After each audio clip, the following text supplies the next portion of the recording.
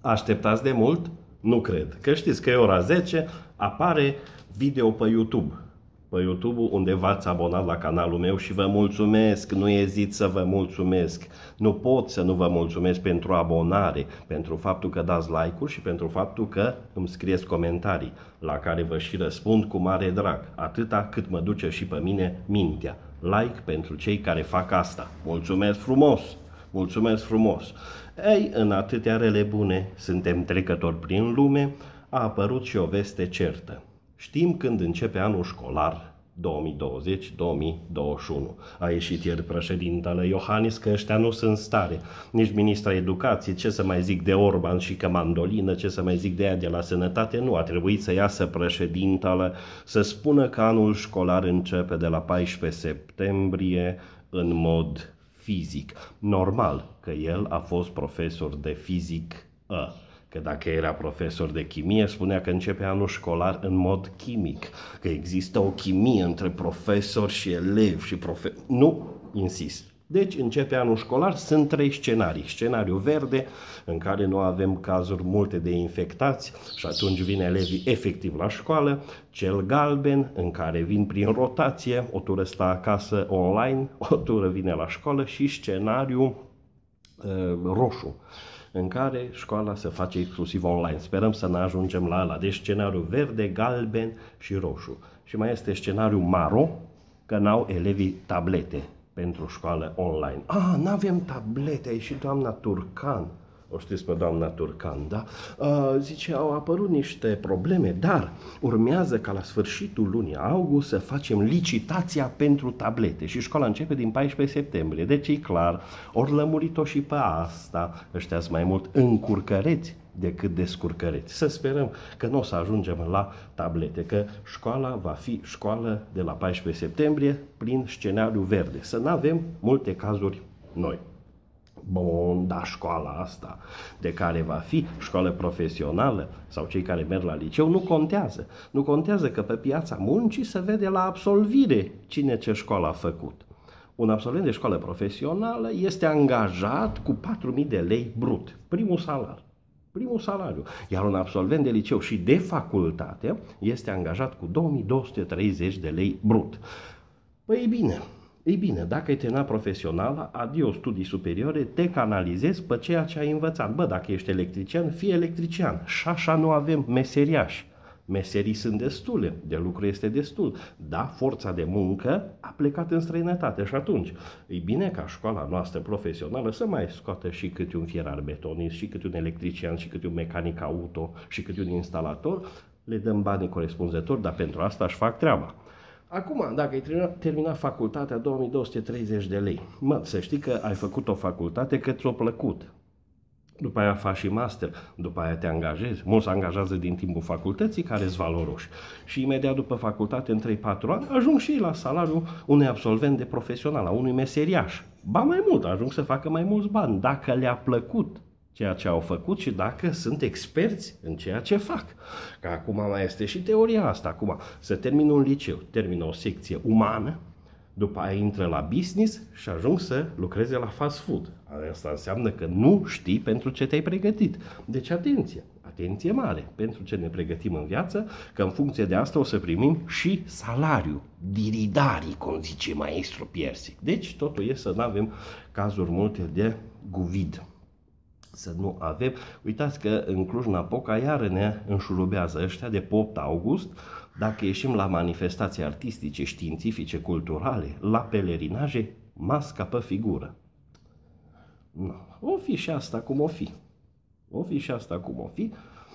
Continuă disputa cu privire la închiderea teraselor la ora 23 seara. Băsescu, fostul președinte, viitorul primar și niciodată omul sincer Băsescu, a spus că e o mare bătaie de joc să se închidă terasele la 23. Că oricum până la 23 bețivii sunt gata beți. Știa maestru ce știe. Cu paharul și cu litru, că așa bea Nea Băsescu, că așa bea Nea Băsescu. Păi dacă el nu e în temă cu băutul, cine să mai fie în temă? Dar vaccin se pregătește.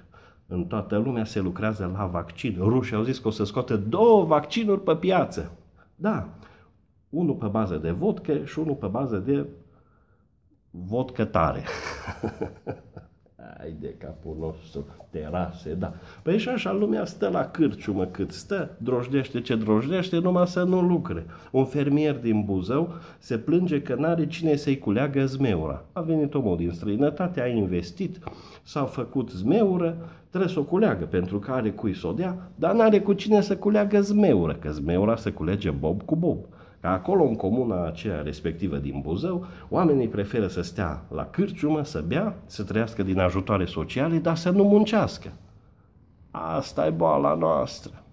Asta e boala noastră, noi nu stăm în gazdă. Da, a ajuns omul să dea anunțuri pe Facebook, să angajeze zilieri. Pentru că cei din comună, sătenii de acolo, nu se ridică de pe scaun. Domnule, de ce să mă duc să culeg? De ce să muncesc? Îmi dă cineva mai mult decât îmi dă statul.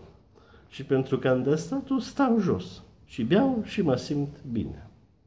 Păi și cu zmeura asta, nu știu ce să zică, doamna doctor Mihaela Bilic ne avertizează. Consumul mare de fructe e mai periculos decât băutul de bere, ci că facem bere de la mâncat harbuz, lebeniță, pepene verde, facem burtă ca și când am fi băut bere. Acum gândiți-vă, atâta muncă, să te duci, să cumperi pepenele, să-l speli, să-l tai, să-l mănânci, să te umfli, să stai. Nu mai bine iei câte o berulă, vorba lui Băsescu, până la 23 te faci muci. Dar ce să mai mâncăm, doamna doctor Billy, ce să mai mâncăm? Că acum producția de grâu s-a anunțat, producția din anul acesta de grâu este cu 40% mai mică decât anul trecut. Nu mai avea pâine sau nu mai avea bani de pâine. Asta e, o să mâncăm fără gluten. Mâncăm fără gluten și ne schimbăm la față. Mare sărbătoare astăzi, 6 august. Din punct de vedere tradițional, de astăzi suntem cu un picior în toamnă. Apele devin mai reci, frunzele se îngălbenesc, iar păsările călătoare pleacă de la noi din țară. Cu prima cursă de la aeroportul din Cluj-Napoca spre Cules Sparanghel. Tot astăzi spune tradiția populară că fetele merg în pădure și culeg alune. Dar cum? În pielea goală. Acum, dacă mergi ca fată-femeie în pădure, în pielea goală, ar fi bine să găsești niște nuci între frunze. Dar dacă găsești alune, zici mersi și de alune. Tot tradiția spune că nu-i bine să ne culcăm afară. E rece, nu-i bine să mai dormim pe pământ, așa că, dragi bărbați, puneți-vă bine cu soacrele. Să nu dormim pe preș. Vorba cântecului. Soacră mea, da, soacră mea, toți banii ține la ea, toți banii ține la ea, mă. Eu la birt cu prătinii, și apoi fie ce o fi, și apoi fie ce o fi, mă. Deci ne punem bine cu cine trebuie, să nu cumva răcim la spătic.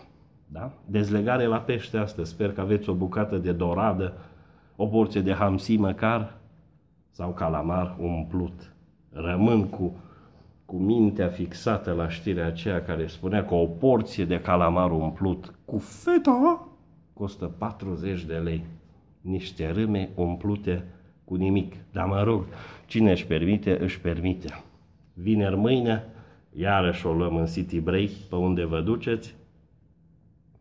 Eu pe la Cojocna, dacă reușesc să ajung, dacă nu-i prea rece apa în tău, căci că nu te lăți broscă în tău, că nu-i tău tăt a tău.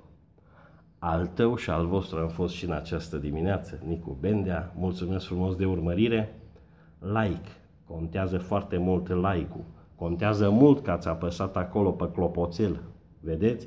Hai să ne gândim că este un clopoțel acolo sub subscribe, da? Clopoțelul care vă anunță când am postat ceva pe telefon. Ei, au zis ceva bine, hai să ne uităm da? Uh, ca să prefigurăm venirea școlii, începutul uh, anului școlar fizic de la 14 septembrie, ca să-l prefațăm, haideți să dăm click și pe acel clopoțel de pe YouTube. Comentarii, deja un prieten de comentarii ne sugerează o temă, votul electronic. În comenturile de la video de ieri am vorbit cu un cetățean de bună credință care sugerează introducerea votului electronic. Să discutăm pe tema asta și după aia să vorbim într-un video despre. Vedeți? Să creează subiecte noi, păreri noi, opinii noi. și nu trecem în viață ca boi, pentru că suntem aici să fim mai inteligenți, mai frumoși și mai cu zâmbetul pe buze. Nicu Bendea vă spune și astăzi să aveți o zi frumoasă și vă dorește din suflet tot ce mai bun pentru voi. Că meritați. Da, da,